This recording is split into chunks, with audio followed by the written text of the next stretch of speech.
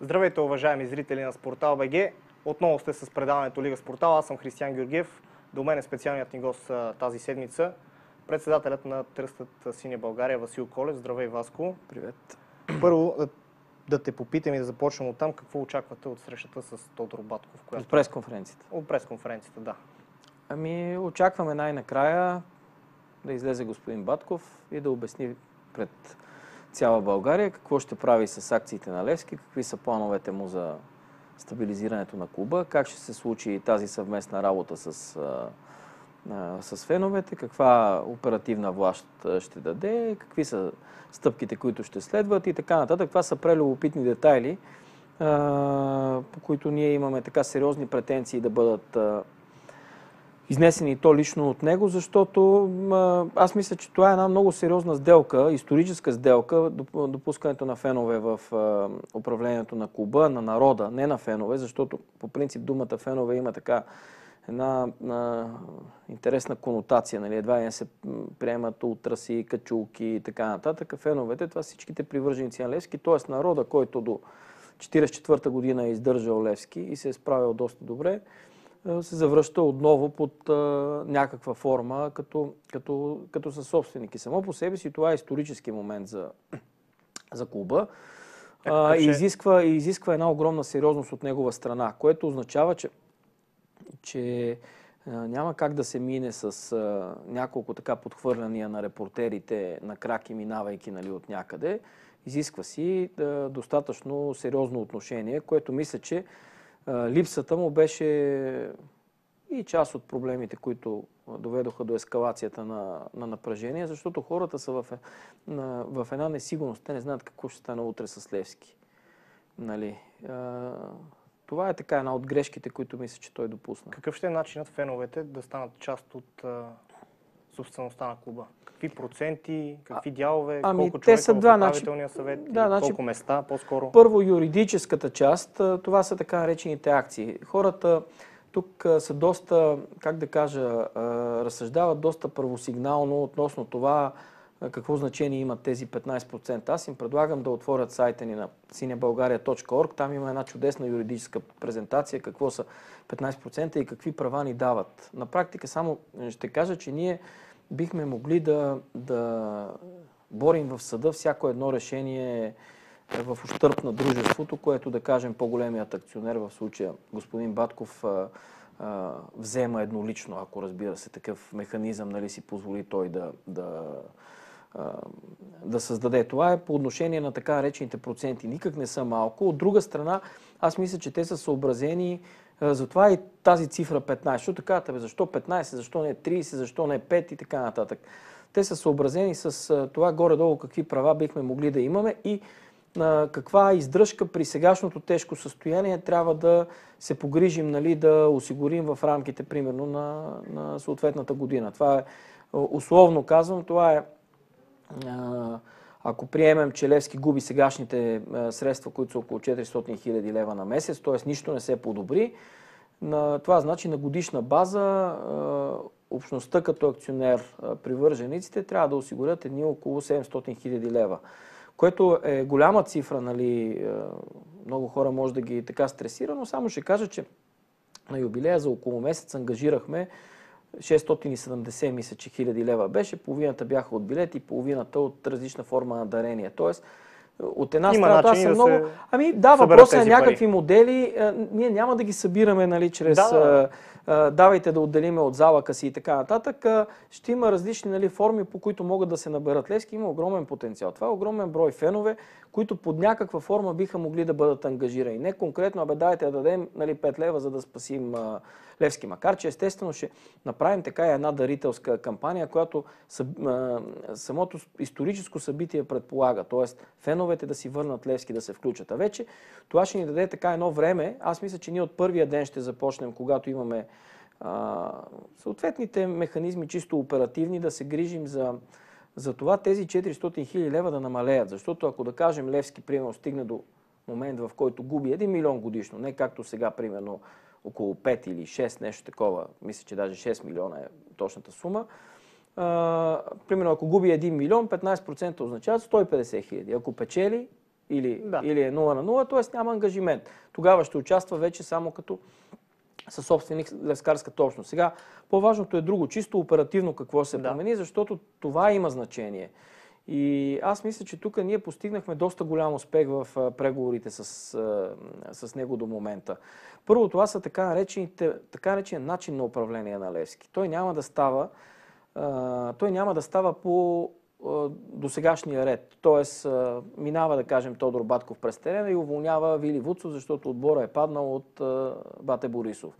Или Вие се да блокирате телефона. това решение. Ами не, значи клуба ще се, клуба сме се разбрали, че трябва да се управлява от действащ управителен съвет, в който, който така е конструиран по възможно най-добрия начин. Ние сме предложили някакъв модел, вероятно той има нали, собствени виждания, ще стигнем до някакво сближаване на позициите, за да се стигне до добро решение, но, но е факт, че на, на срещата в, в сряда той така прие нали, това условие да има а, две места за юридическите лица. Тук подчертавам, защото това ражда много спекулации за юридическите лица. Тръст Синя България и а, Национален клуб на привържениците. Това означава, че ние няма да излъчим един човек. Примерно няма да отида аз в управителния съвет и да представлявам а, тръста или а, някой Ще от колегите. лица, точно. А, а ще бъде юридическото лице и по компетентност ние ще излучваме хора. Тоест, ако да кажем се, а, на съответно заседание се коментира, примерно, някакъв финансов въпрос, ние ще излучиме финансов експерт, нали, примерно.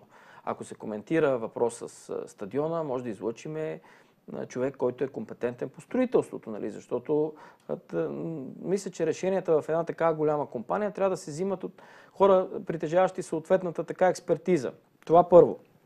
А, а, второ, самата квота, а, макар че те нещата се попромениха, защото ние стигнахме съвместно с него и до други така идеи, по които започнахме да работиме. Първата е промяната на устава на дружеството, която според нашите юристи правеше работата на управителния съвет леко тромава.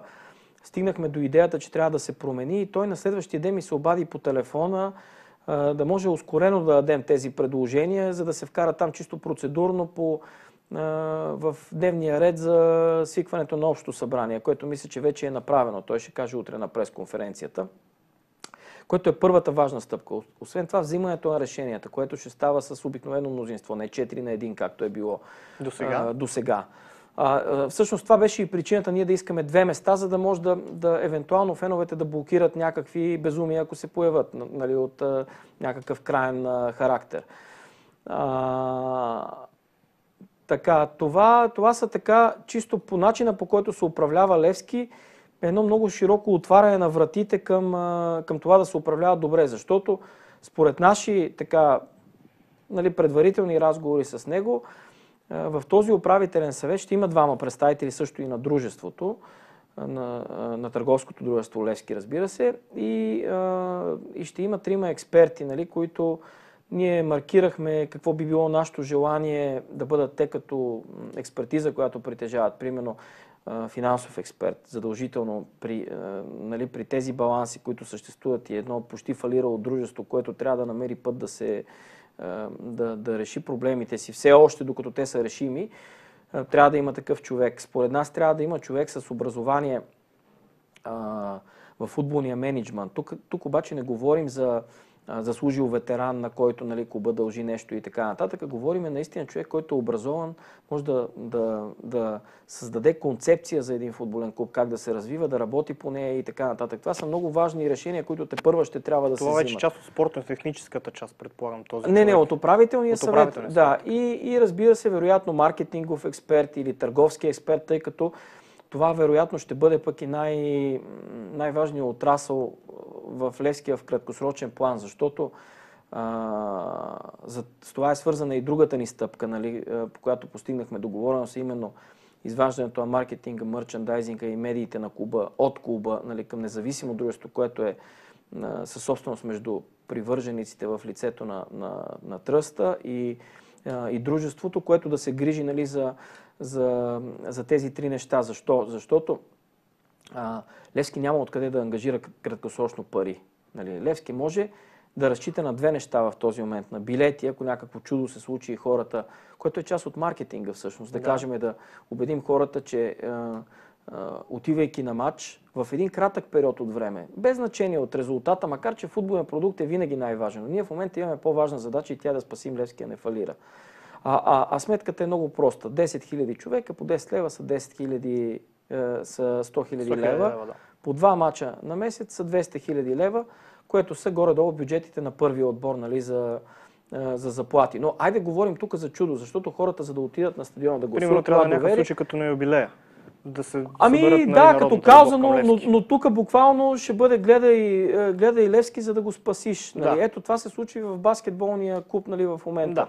На практика, чрез продажба на, на карти, на билети и така нататък, това е начин да се генерират средства. И втория начин, това е а, маркетинга, спонсорите, една по-добра работа, може би по-гъвкави механизми. Имаме доста идеи, които сме разработили нали, в, в концепция, с времена и така нататък, с време нали, за, за реализирането, в която трябва да привлечем определен нали, брой спонсори, средства, тип спонсори, защото само ще дам един пример. Значи Левски, примерно, на малките компании не ги брои почти за живи. Тоест, ако аз имам ни хиляда лева, които искам да дам в Левски, Куба, да.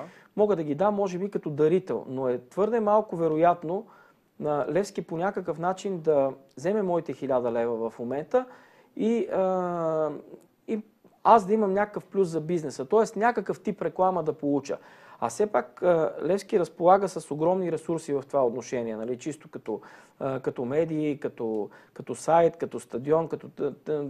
безкрайни са, нали, за да ги изброявам и може да бъде намерено нали, дори и на, на, на такива хора, защото а, а, и хилядата лева ще бъдат решителни, нали? защото само ти давам пример, ако примерно се намерят 200 малки фирми, хлебарници, гумаджиници, е, хотели или каквото и да е, нали, които извадят тези пари, е, това са примерно 200 хиляди лева. 200 по 1000 са 200 хиляди лева. Така разсъждахме и на юбилея. Така се създаде реално най- най-успешната част от, е, от кампанията, така наречения Куб 100, в който стои двама човека или организации. Дават определено И дадоха, извадиха по 1000 лева, да. да. Така че а, нали, една такава гъвкава стратегия плюс а, един добър мерчендайзинг, който а, подценява се като въпрос, но той е, а, как да кажа, разпокъсан, парцелиран, а, има много злоупотреби, примерно, знаеме, че има ментета, нали, се произвеждат на фанелки, артикули и така нататък, нали, могат да се намерят къде ли не, нали, и така нататък, от което клубът не печели по никакъв начин. Ние сме убедени, че тук може да се сложи ред, могат да се използват добре възможностите на фенкуловете, защото Лески все пак има една мрежа нали, от фенкулове. Там имаме също страхотна идея какво и как да се случи, защото примерно тези хора могат да се включат по този начин в финансовата издръжка на клуба, но до тях не достигат, да кажем, артикули. За тях е събитие, ако могат да си вземат значка. Аз, аз това съм го видял на, точно около юбилея в един от фенкуловете ни в Разград, където 30 значки по 7 лева изчезнаха за 3 секунди. Но, но самия факт, ето, че до тези левскари там не достигат нали, регулярно, няма, няма създаден механизъм нали, това да се случва, показва, че Левски се лишава от едни огромни приходи. И тъй като това е важна част от, в краткосрочен план от начина по който ще се финансира клуба, защото ето, питат ни как ще го финансираме. Ще го финансираме, като създадеме ето тези добри практики. Той ще се самофинансира. Левския клуб, който може да се самофинансира.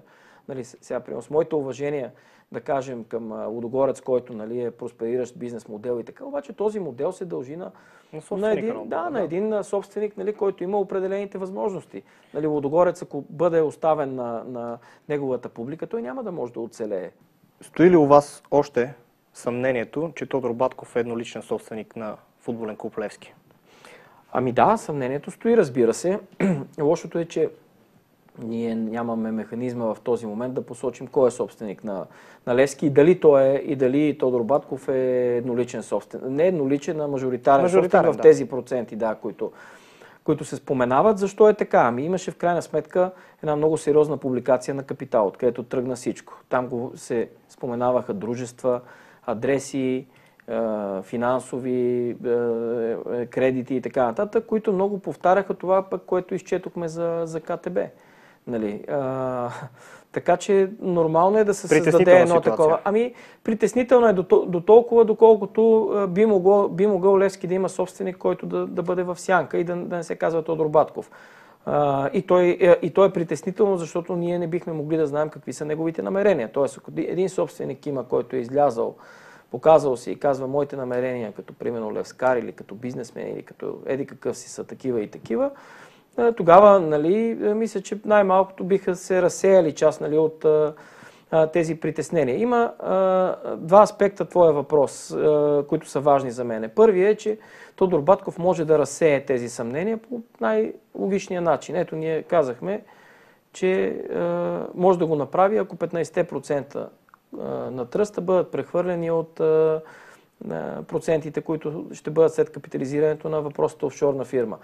По обаче логичният въпрос е другия. Защо Тодор Батков просто не прехвърли първоначално всичките акции на свое име. Защо трябва да управлява и като Тодор Батков и, като и да представлява, да. да представлява, защото това е точната дума. Той представлява в момента тази офшорна компания, но това не е гаранция, че той е нейн собственик. Нали? В никакъв случай. Собственика е този, при който се намират акциите на компанията. Бих могъл да съм аз, ти и, и който и да е. Това е първият момент. Втория, а, втория важен момент е обаче, че влизането на, на, на тръста като акционер в Левски и особено това нещо, тези промени, които ще се направят с оперативната власт, на практика те ще неутрализират едно такова влияние, ако има на, на, на управление в сянка. Защо?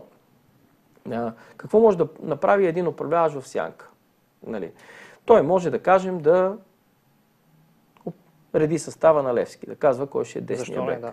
да, примерно казвам най-така грубия пример, но, но при всички случаи нали, за това нещо има треньор, и директори и така нататък. Нали. При всички случаи тук ще възникне скандал, че има някаква, рано или късно, някаква намеса и някое лице, което не е авторизирано, не се е представило като авторизирано за това, нали, се намесва по някакъв начин в политиката на Куба.